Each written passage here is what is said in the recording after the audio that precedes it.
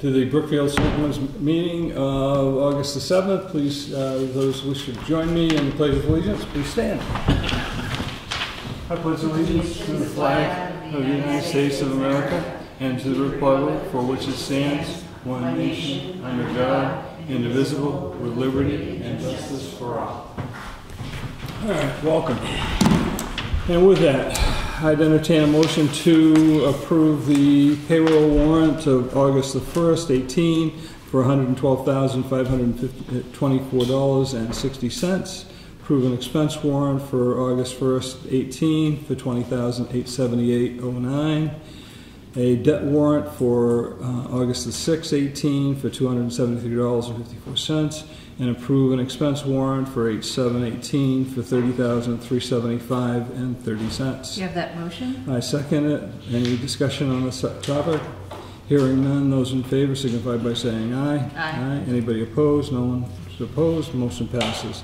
Announcement, please note, uh, time estimates on construction of the new handicap accessible town hall bathroom is as follows. The work is established to begin on September 24th and end on November 24th prior to the start date. There will be an in-house construction that will impact the existing kitchen. The agenda for tonight begins with a vote to accept the Natural Hazard Mitigation Plan. And Adam, I turn to you.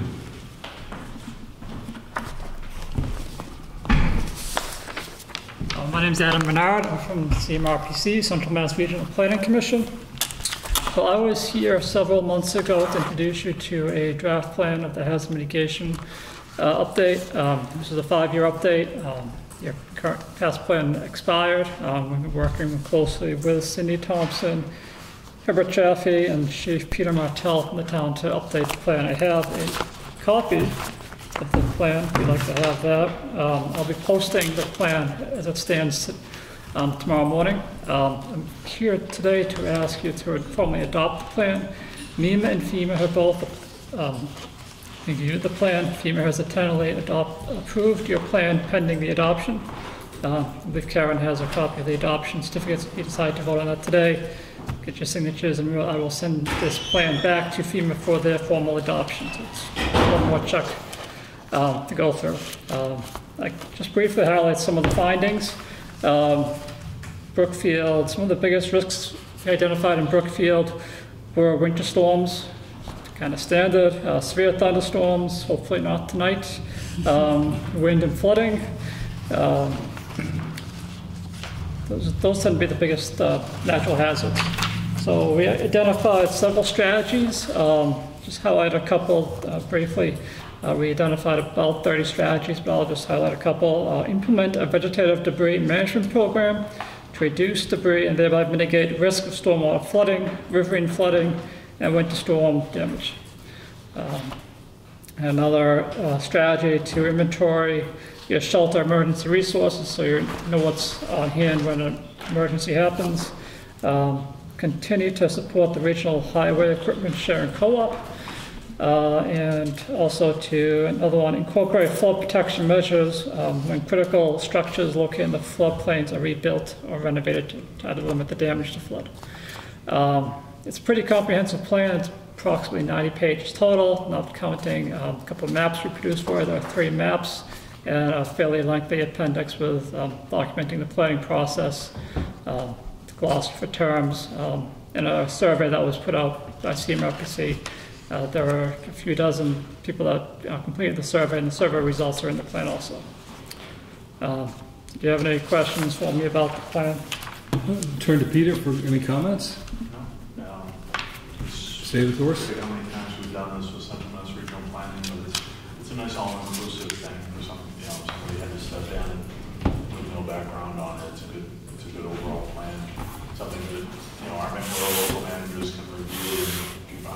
uh, plus they look at things we don't, like you mentioned, you know, building and zoning things when it comes to floodplain and how to long-term react, you know, more reactionary, because that's all we really fund and focus on, but it's a good eye opener for something down the road, so.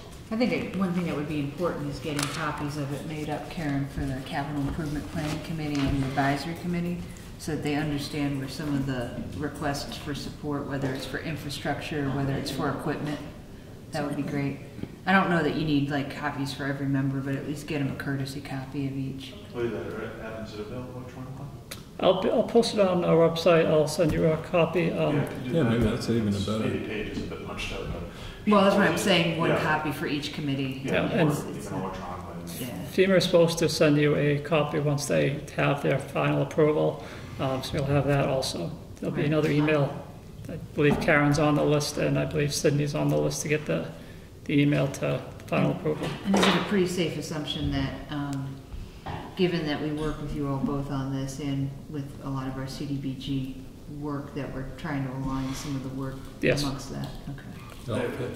Central Mass going way back to Bill Scanlon has a history of just keeping, knowing what we're interested in, what we need, and all of a sudden you get a call from somebody that are like, hey, this just came on the radar that would really help you out, and they work with us on that. And that's- the timing is good too, because the federal government uh, announced a series of grants today, uh, hazard mitigation grants mostly for flood, and you have to have this in In place. I think pending, That's it's not, we won't be held, just because it's being held up in FEMA, because but the fact that it's in there, you have to have this in place before Yeah. you Yeah. can consider those grants. So having the last one never lapsed, this one's in the final phases. I forwarded that down to Cindy today. And we've been, actually, we instituted one of those grants years ago, but Herb still has some flood areas that he'd like to address, and, and some of these federal grants are within that window, so the Great, timing's good. okay. So I'd entertain a motion to approve to sign. You have that motion? Second, any further discussion? Seeing none, those in favor signify by saying aye. Aye. Anybody opposed? No one's opposed, motion passes, and we will sign a document. Thank you. Cindy's not here tonight, so you don't need a copy tonight, do you? Uh, Linda. uh, Linda, Linda's not here tonight. Yeah, I can wait on it. Okay. Okay, we'll put that back in this folder for Linda to s- to sign. Oops, I'm stuck. All right, so then the next is, I don't know, I'll just fold this over. There we go. All right, so now the next on the list is a contract agreement between the town and Central Mass Regional Planning Commission. And this relates to the municipal vulnerability preparedness work.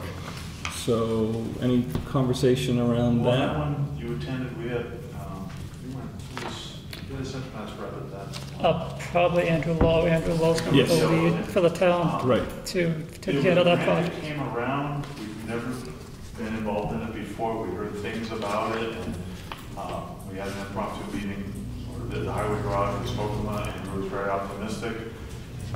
And we, we apply for things all the time, and occasionally we get them, occasionally we don't, and all of a sudden we get notified, oh, we did. You've been approved for twenty-eight thousand, and then you look at other communities much larger that have had these in the past that didn't get nearly that much.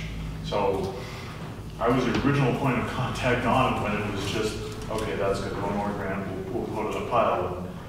And, um, We threw out a lot of ideas where we could approach this with Andrew. And when it got approved by the state, I don't know what they were looking for us to do. We looked at, um, taking care of more dead trees, taking care of roadside debris, and also, you know, reforestation from a lot of trees that we've had to take down. We talked about expanding the water system. I don't know where the federal government would, or the state, I don't know which one they're targeting. So Well, I well, and I, I I think think, if we I think, get that- this contract in, that's, that's the obvious first Yeah. start, but then finding out, okay, what did they like about our application that we can act on? all right, I- I- go ahead. I'll just say, the, the, the contract, the, the, the- the grant that you received um, will be for two, two things. There'll be an MVP workshop. um, That's, um, that's 71 towns have completed this workshop already. Uh, Another, I want to say 60 to 70 are in this current phase, so it's about 40% of the state is taking part in this program. Uh, Brookfield is a little bit different as they have an add-on piece, that's why you got more than most other towns. Uh, to do a survey to um, survey the south side of the Quaboag River um, to expand, see if you want to expand your water service to that end. So that's, that's the reason you're getting more um, than most other towns. Makes To take that extra step, uh, most towns, it's just the workshop. And I know some of the more concentrated communities have had a- some challenges maintaining their water supply through wells. Uh, I know Anatonka recently had to drill pretty deep in order to, to to maintain their, their Mhm. water over there. but- And we- and we shouldn't, we shouldn't get ahead. Twenty thousand is the first of many steps to get a proposal, to get Right. anything like that. But, you know, we could hope that we could, we could get this project could well on its way and hand it down to the next generation of all of us to see this through. I mean, from, Right. from a, from a public safety standpoint, just having any type of municipal water over there. And Cindy was part of that initial workshop meeting we had about MVP. She's one of those residents that on a, on a dry year, her well runs dry. Exactly. Any of those shallows. So Yep. to start anything, you know, whether it's, you know, satellite or seismic well identification and when we did the. Right, it would be a When we first did the step. standpipe Yes. replacement over there, that was a couple million just to have Stantec put up a new standpipe. Right. And we're looking at all of these, so we're talking many years, but this, it's just amazing, twenty-eight thousand, yeah, to, to get something rolling on this, I think would be phenomenal. At least get some feasibility work done and, and some, some initial. Yeah, um, what we would once, need. once you go through the process of the workshop, which is a pretty regimented process, it's step by step, and you come out with a report at the end. Um, you become a cert, MVP certified town that makes you eligible for MVP action grants. It also gives you, um, we call them bonus points to other grants, for example, Mass Works grant. Um, you get a kind of a, a tiebreaker point if you have this in place, it gives you an edge to other towns that don't have this. So it's a good thing to have. It's an interesting process. Um, I helped uh, do a regional workshop last year with Grafton Millbury and Northbridge. It pulls in a large chunk of the community um, from various backgrounds, um, just talking about the type of um, problems that the town faces with hazards and how to try to plan for in the future. It's a different program in that sense where most programs and plans are kind of dealing with the last few years and short term. MVP is more of a long term. What's, what is this thing going to be like on the ground 25 years, 50 years, 100 years from now? It's a long term planning process. Well, if you look at what Webster's going through right now, it's time for us to do some thinking and make sure we got our act together. What exactly is Webster going through? The, the tornado hit the other Oh, morning. yeah, yeah, yeah. So, we, I mean, Sturbridge had their issues a Yep. couple of years ago, now it's Three tornadoes Webster. I in mean, two weeks. Two weeks, yeah. Usual. Yeah, Perspective wise, during calendar year twenty eighteen, the six New England states had had twelve tornadoes. Put that in perspective, in calendar year twenty eighteen, the state of Oklahoma has had twelve tornadoes. amazing. Yeah. Interesting, Peter. It's, Um, one point on this, and I, I'm not trying to evade it, but when we first, it was just a shot in the dark, they needed a point of contact. I looked away apparently at some point during that meeting, and I was named the point of contact. Now it's actually got legs, and we're talking about real money and everything, whether that shifts to the board. I think eventually, if, if we, when it eventually turns into a water project, it would obviously go to the board of water commissioners, but I think right now, um, I don't know how the contract's written up or everything, but I think that needs to shift to the selectman's office just for an overall thing, because it goes a little bit beyond, you know, they needed a point of contact initially, that was fine, but now we're talking about, you know, Yeah. about contracting with somebody, so Right, it's right. more of the board's Yeah, uh, well, and- wheelhouse than yeah, just mine. so. and, uh, should we motion and, pa- and pass this, Linda is the point of contact Okay. based on this make document. change, Because that And- was, I was getting some stuff initially, and then it became, well, and not knowing what it was, if it was for risk reduction with, with trees and whatever, that would be one thing, but now we're talking about a multi, potential Multi- decade project, multi-department. and this is, you know, whether or not this gets handed off to the grant writer eventually, That- that could be. potentially for that. Yeah. Because even he's talking about a workshop availability, you know, that's something mandated that one or two people go to, then that, that becomes a schedule. Well, The work, the workshop, we, the state wants at least 30 people at the workshop. It's Okay. not always practical, but Yeah, that's gotta their work goal. towards It's it's a it, good sure. sized workshop. Yeah. Right, but we Um, could, we could try to pull in folks again from some of the committees that, Oh, that, yeah. that have the purse Especially if this strings. is a target too, if if Right. you're looking for local involvement, and we put the word out Mhm. for the residents of South Parkville, for lack of a better, you know, that this is the long term, people that are, that moved in and plan on You know, staying. you know what we might even consider is for that meeting, um, so how big a workshop, or how, how long a workshop is it? There's two options, either one day of eight hours long, Oh, or wow. two, two four hour, two days, four hours each. So it's, it's pretty intense, it's, it's it's So a you wanna hands-on it- wor- Yeah, workshop. you want to do it over a month and, Right. yeah. Well, I was thinking of trying to coordinate, and, I mean, if we're gonna be focused on the south side of the river, see if maybe we could actually use Nanatonquist meeting space Maybe. and meet over there and see if we could get, encourage some of the citizens over that side of the river, if it's in their backyard, to Yeah. actually go. Yep. Yeah, whoever you decide as your point contact, once you get the contract set. Um, Andrew Lowell will be the one to really to help Right. guide you through the whole process. Uh, I'll be there assisting him, I've been trained in the process. You have, uh, everybody at CMRPC will help, Brookfield has been trained, you have to be state trained um, to run the workshops, so it's, um, Excellent. it's a good So- program. So with that, uh, if there's no, no more discussion, then, um, I'll, I'll make a Um, motion for, to, uh, for us to, sign. to sign the, uh, contract agreement between ourselves and CMRPC Yes. related to the uh, municipal vulnerability preparedness, uh, program. And I'll second that.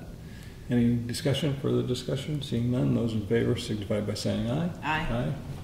Motion, those Great. opposed, no one's opposed, motion passes, and this will be for Linda to sign. Great, All right, thank you. Adam, thanks. Safe ride back to the city. Will do. All right, so next on the agenda is Brookfield volunteer discussion. Um, Peter had sent in a note, but I just, yeah, no, Peter. Peter O'Connell. Sorry, Different Peter, You're- sorry. You're on your way, Peter? Thank you.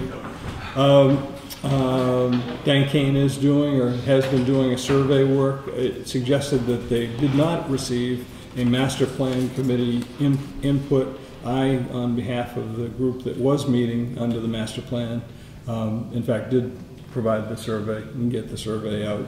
Uh, uh, And again, the- uh, Danielle is looking to uh, recommend or promote volunteering within the town on the different town boards and whatnot.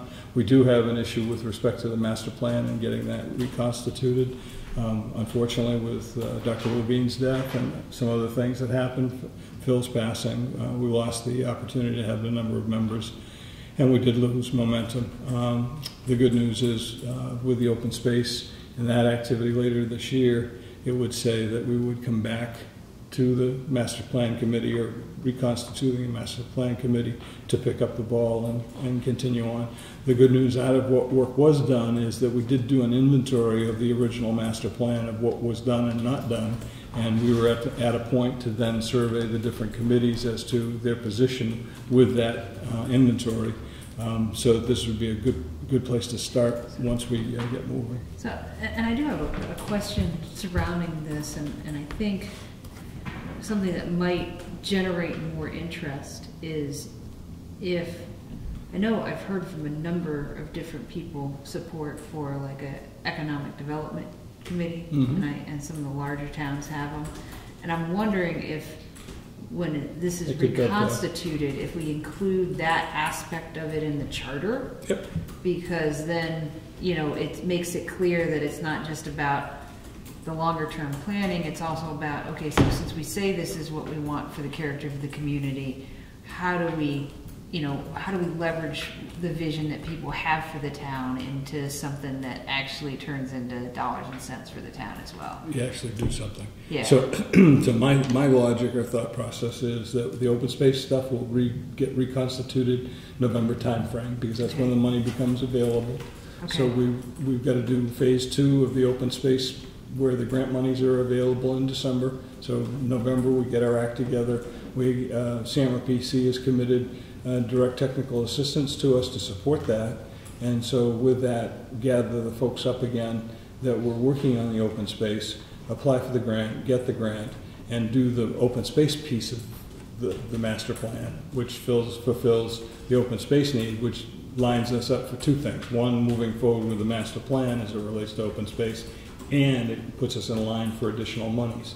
And so during the phase one activities around open space, there was conversation around the rec committee and different ideas as far as ball fields and growing playgrounds and those kinds of things.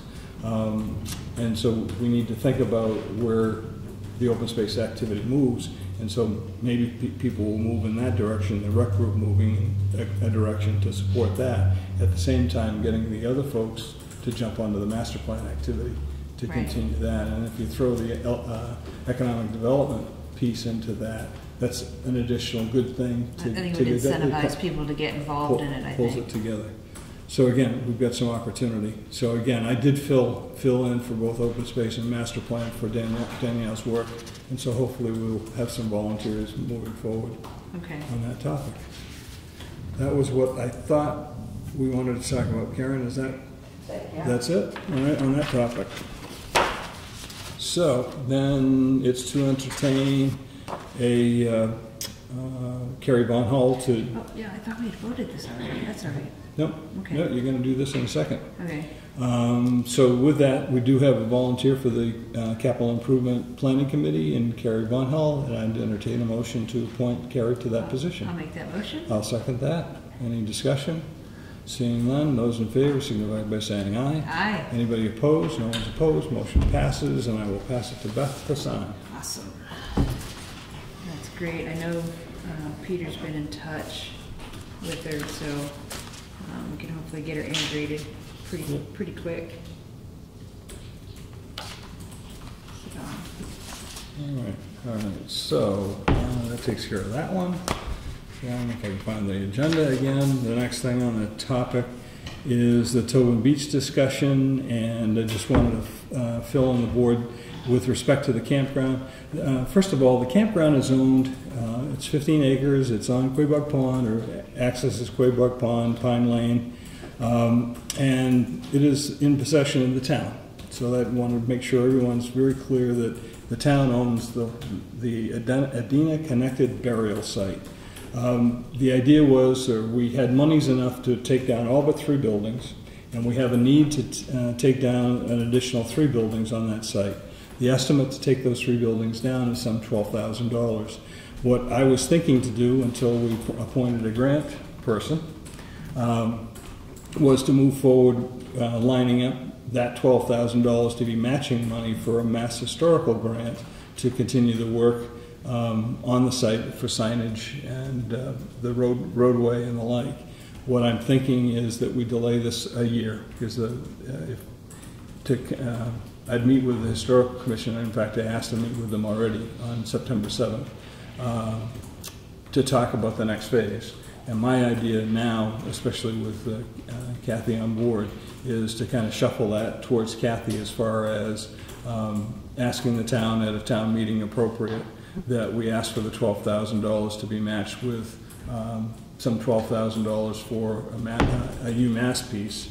And the U- UMass piece would be the signage that we talked about, helping with the roadway definition to make sure, we, we believe, at least from discussions, we believe the roadway that we originally laid out can be changed and, and be different because we did find graves. Right. And so we, we need to move it, so we need a little bit of survey work, we need a little bit of mass historical, um, not mass historical, UMass archaeology to help us, uh, lay out that, that route. And then, uh, with that, to get some signage, to get some grad students to help us with signage. So, uh, I haven't talked to Kathy, I need to catch up with her, but she's busy with this other grant that she's working on. So once she clears from that, my plan is to chat with her and chat with the historical commission to say it would be fall next year that we would see if we could line that up to get twelve thousand of the town's money for the tear down, which would be matched by twelve thousand dollars. And again, I've chatted with Eric Johnson, UMass Archaeology, that that's about right as far as what it would cost To get their To- portion of the work done. to get their portion of the work done. So something for, uh, again, a year And, from and now. is it just that we're, we're gonna miss the cycle, or it's Yeah, just we don't yes. have the money set aside now? Yeah, so what happens is they, they come out in November for requests for, uh, for applications for grants. Okay, And then you have to have everything in by February, and then March they approve it, and then you have until June of the next year to get it done. So they want us to take those buildings down in the wintertime. So if we, if we look at waiting one cycle, we can be in line, I think. okay, I'm sorry, I just got confused. So November is when we'd apply for Yep, the You'd grant? apply, and it has to be finished by the June of the next year. Oh, so like it'd have to be June of this year coming? Yeah, and so that's fast. Yeah, And so it's like, let's take the, that's- take the foot off the accelerator. Yeah, we would have to Get wait our act if together. we're gonna do it during winter time. Yeah, Yeah, and so it- would say November. It's a go slow to go fast. Yes, and again, there's not, nothing's gonna change. The Nipmuc clan will take it for their ceremonies every once in a while, and that's a good thing. Yeah, Uh, people are walking through there, and, and that's a good thing, so right, we'll just leave it as is for now. for now, Yeah. okay. And we have commitments from the highway to do a couple of bushwhacks and keep the grass down and, and Okay. that sort of thing, so. Yep, So I think that that's the plan, and I, like I say, I'll talk to the Historical Commission, and I'll talk to, uh, Carrie, uh, And, or uh, Kathy. and I'll send a note to, so if, if we're gonna be waiting, and it probably wouldn't be something that we address at this town meeting coming, but probably the Right. June town meeting. Yeah, Okay. So we know about that.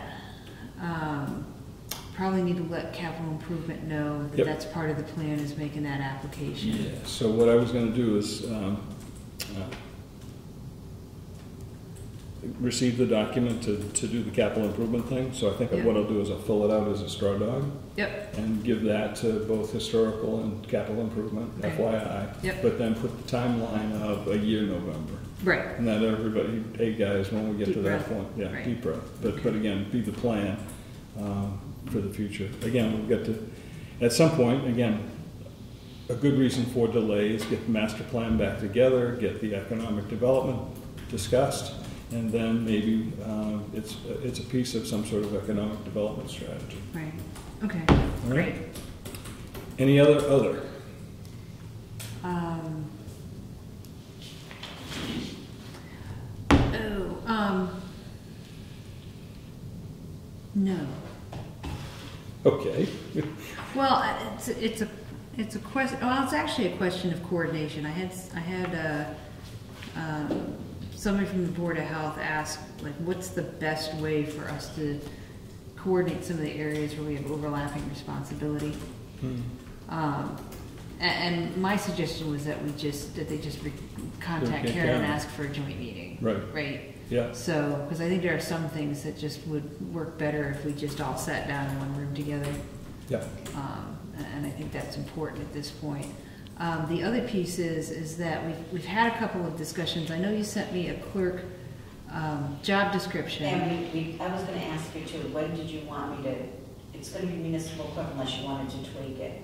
Yeah, well, I would, I would just put it as municipal clerk with, with primary board responsibilities being, uh, planning board and zoning board of appeals, but with other, supporting other evening committees as, as, as requested. And then we could get that. And as, as requested and as available, because the primary funding for the position would be coming from the planning board and the zoning board of appeals. Uh, but then we also can, can backfill that as needed if, if there, uh, if the support requirements are greater than, uh, what's necessarily budgeted just for those two committees. Well, I know definitely that the uh, bylaw committee does. I know, they, they want and need somebody to help them They out. don't have a budget. Right, and then, uh, advisory has a small budget where, and they want support as well. But they already have someone, but they, No, they don't. oh, she's gone. She's not available. No, she's not available this year. So they said they wanted in on that. Oh, okay, so that, yeah, because I did write back to him and he didn't, he didn't tell me she was gone, but. Well, Lee Farr told me that, that she's not available, so they're looking for somebody. So they would contribute a port, their budget as well to the kitty. Yeah. So, um, so the person can just, and it's very typical, like in the environment I work, we have different charge codes for different departments when we're supporting. Sure. It's the, it's the same sort of thing. The person would just, you know, fill out their timesheet in a way that made it obvious which, which budget it comes from, so. Um, and I think we should, I, I'd like to make a motion that we go ahead and, and just post it as a, um, or get the job, You want me to The ad- job you want me to posting. No. advertise it, correct? Right. yeah, Or just that- start off with just posting it maybe in, through Facebook and online and. then Let's start with advertise it Facebook and online and give it like a week or two to see if we get any applicants. And if we don't get any applicants within a week or two, then let's expand to print. Okay, very good. Um, Save a few bucks. and, um, do I- I do have one, one, one other, other. Uh, didn't have the meetings with the accountant and treasurer. Um, Positive things happened, and with that, I did, based on their recommendations, I called Tom Scanlon, and Tom Scanlon will be providing this board a recommendation for the audit and scope, and his um, recommendation is to do something in the November timeframe. okay. or begin in the November timeframe. Begin in the November timeframe. Yeah, ba- Basically taking advantage of FY eighteen. Okay. So, right, because you want to do, you And want to do with- eighteen With a look back, with a look back. yeah. And, and again, more focused on eighteen. His recommendation was, since we've paid to do a lot of work from fourteen to seventeen, and that work is done, it's more an eighteen stake in the ground, looking back to those prior years, following the money. Actually, that makes good sense, because we should have, based on our filing and the fact that we just reconciled everything through Through seventeen, we, we ought to have had a decent starting point from the standpoint of a cash balance. And so then that gives them the time, that, that aligns everybody with, now we have to get eighteen done in time for both town meeting and to do the audit. That was his And then- recommendation. That's awesome, I like that. And it'll keep a good forward momentum and it won't slow us down Right. for getting the eighteen reconciled. Right, and Carrie has some concerns as to do- some documentation. Monica uh, provided, um, and Keith provided the documentation, so it seems like everything's in place for the, to continue on the strategy of October, October 30, to have things in place for the Schedule A for FY '18. Great. So, Good progress. okay. So, any other other? Seeing none, uh, correspondence, we have a request from Brookfield Congregational Church, Margaret um, has, uh, one of the mission people, want to reconstitute the crop walk in town. Uh, This is something that had been going for a number of years in another town, and they had stopped it. Uh, And what the crop walk did is it provided monies to the local food pantry. So Margaret is concerned and uh, wants to reconstitute it. The idea would be that they would walk laps Central Street, Common Street, and just uh, as a part of the, the walk, should be working with uh, the chief as far as the walk, the timing of the walk and the, and the, the arrangements and whatnot. But she's asking for permission to do a crop, crop walk in and around the common on October the 13th. So I put a motion forward that we uh, encourage the crop walk. I'll, I'll second that. And any other discussion? Seeing none. Those in favor signify by saying aye. Aye. Aye. Anybody opposed? Motion, and nobody opposed, motion passes. So with that, I would look to a motion to adjourn. I'll make that motion. And I'll Do you have second. any uh, public access We anymore? didn't, not tonight. Why is that? Is there a reason for it, or? Nope, just Linda's not here and we had a few things to get done and we got them done. That's not a good reason. Well, Well, you for me, it's, for me, it's good enough, David. People plans. For me, David.